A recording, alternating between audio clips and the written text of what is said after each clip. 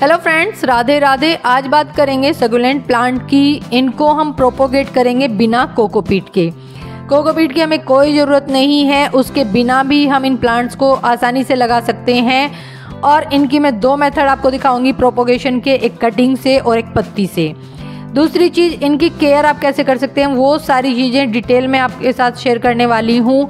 अगर वीडियो आपको पसंद आए तो प्लीज़ वीडियो को ज़्यादा से ज़्यादा लाइक और चैनल को सब्सक्राइब ज़रूर कर लीजिएगा फ्रेंड और कमेंट करके ज़रूर बताइएगा अगर आप पौधे इस तरीके से लगाते हैं या लगा चुके हैं या लगाना चाहते हैं तो आप ज़रूर बताइएगा कि आपका रिज़ल्ट इसका कैसा रहा। तो देखिए, मैंने इसको ब्रोकन पॉट में लगाया हुआ है। ब्रोकन पॉट जो है, वो पानी तो हमें ज़्यादा नहीं रखना है और इसमें छोटे छोटे बेबी प्लांट भी ग्रो हुए हैं। ये मदर प्लांट है मेरे। मेच्योर प्लांट से ही हमें पत्तियाँ लेनी है। ये दूसरा पौधा है। आप देख रहे हैं तो मेच्योर प्लांट से पत्ती लेने से पहले बात करते हैं उसके गमले की। तो देखिए, ये जो गमला मैंने लिया है, ये एक टोकरी है जिसका ऊपर से डायमीटर जो है चौड़ा है, गहरा नहीं है, ज़्यादा गहरा पोट हमें नहीं लेना है।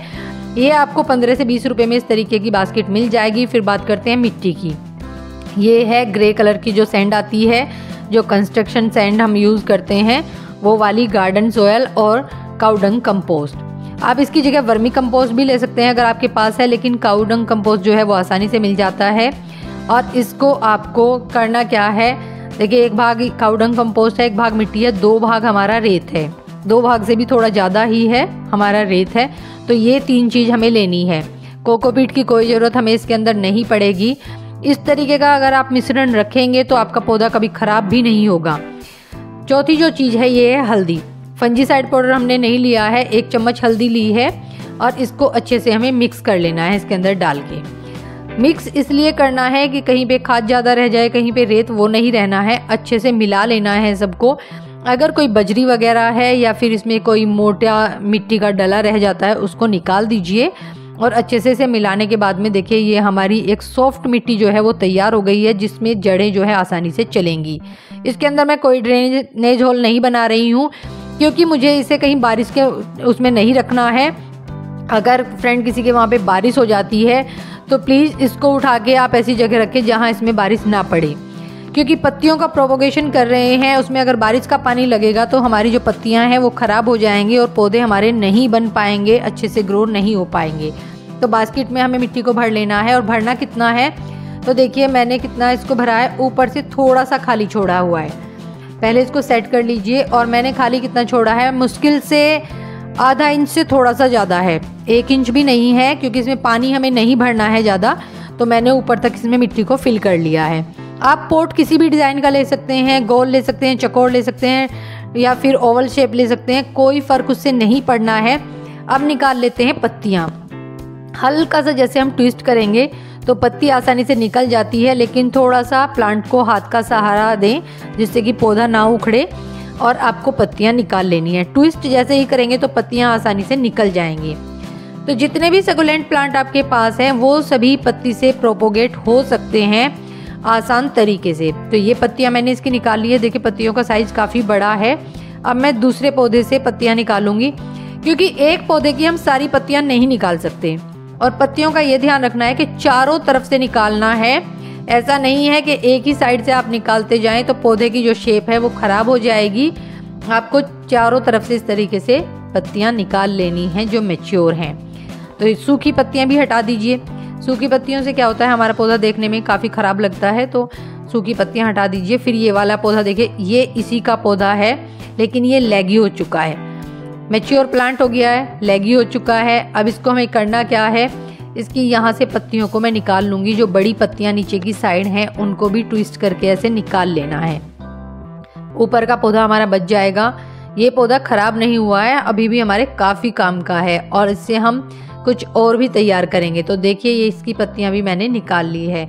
अब इसको भी एक साइड रख देते हैं। अब ये है थर्ड वन जो मैं पौधे दिखा रही हूँ फ्रेंड ये दिल्ली एनसीआर में जो हैं, काफ़ी अच्छे से चलेंगे। गर्मी के मौसम में भी ये ख़राब नहीं होंगे।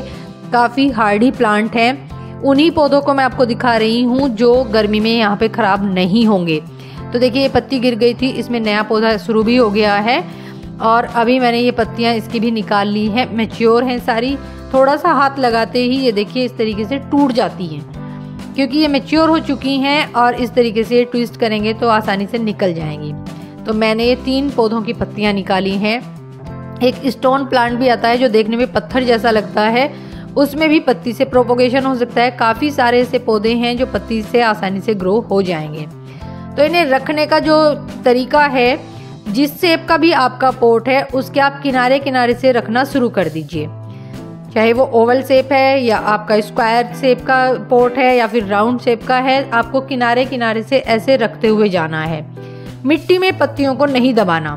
सिर्फ़ मिट्टी के ऊपर रखना है। अगर आपने पत्तियों को मिट्टी के अंदर दबा दिया तो नया पौधा बनने में टाइम लगेगा और पत्ती खराब भी हो सकती है। तो इस चीज़ का ध्यान ज़रूर रखिएगा। दूसरी चीज़ मैं बता दूँ हमको फर्टिलाइज़र इन पौधों को ज़्यादा फर्टिलाइज़र की ज़रूरत नहीं होती है। छः महीने में एक बार आप इसमें लिक्विड फर्टिलाइज़र डाल सकते हैं। आप जो ऑनियन पील का हम फर्टिलाइज़र बनाते हैं, प्याज के छिलके का, वो डाल दीजिए। या फिर एक एक चम्मच आप इसमें वर्मी कंपोस्ट डाल दीजिए या काउडंग कंपोस्ट डाल दीजिए। कोई भी आप इसमें डाल सकते हैं छः महीने में। अब देखिए, मैंने दो पौधों की पत्तियाँ इस तरीके से लगा दी हैं। अब जो छोटे वाली पत्तियाँ हैं, वो मैं आगे की साइड इसमें देखिए, अंदर की साइड इस तरीके से लगा दूँगी। इसमें क्या होगा, जब पौधा निकलना शुरू होगा तो ये पत्तियाँ अपने आप ही सूख जाएँगी। और पौधा पत्तियों को छोड़ देगा। इसमें हमारे प्लांट को जो है स्पेस भी मिल जाएगा और पौधे आसानी से ग्रो हो जाएँगे। एक चीज़ ध्यान रखनी है कि इसे कहीं भी ऐसी जगह ना रख के जहाँ पे ज़्यादा इसमें पानी डल जाए। इस चीज़ का ध्यान रखना है, ज़्यादा पानी इसके अंदर नहीं डालना है, नहीं तो आपकी जो पत्तियाँ हैं ये ख़राब हो जाएँगी। तो ये मैंने सारी सेट कर दी हैं इस तरीके से। अब सिर्फ़ मैं इसको स्प्रे से पानी दूँगी। अगर आप प्रेशर से पानी डालेंगे तो सब पत्तियाँ बिखर जाएँगी। स्प्रे बोतल से ही आप पानी डालें, ऐसे छिड़काव करें।